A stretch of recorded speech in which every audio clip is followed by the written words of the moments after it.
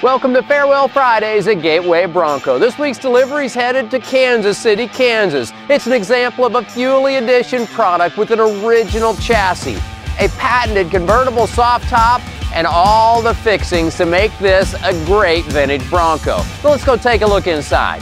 The modern conveniences on this Bronco include power window lifts with a vintage handle, it includes rear AC for the backseat passengers. It even has barnwood bed. Now, this is one of our favorite leathers. It's a distressed Italian leather, incredibly soft.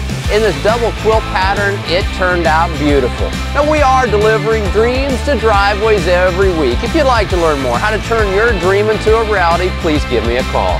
Thanks so much for joining and let's take a ride together.